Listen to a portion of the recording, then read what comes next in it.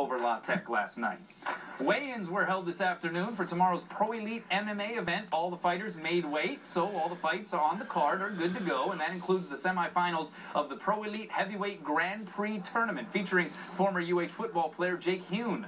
The Alaska native and one-time Warrior linebacker will step into the cage against Richard Odoms.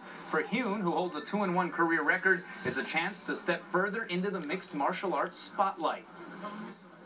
It's good. It's good. It's good because it's good to have short-term goals to focus on. You know, that really helps get you through the grind of the cardio sessions, everything. You know, I'm going to win this Grand Prix. But at the end of the day, I mean, my goal is and always will be to be world champ. I want to be the best fighter on the planet. You know, I want to, I want I want people to turn on the TV and say, "Damn, that guy Honey Bear, he's he's a mean some." You know, he's the best guy around. So that that's my goal. Main event tomorrow has Maui's Kendall Grove taking on Dream Organization star Minowa. It's a matinee affair tomorrow with the fight card beginning at 2 p.m. at the Blaisdell Arena. And the Big Island.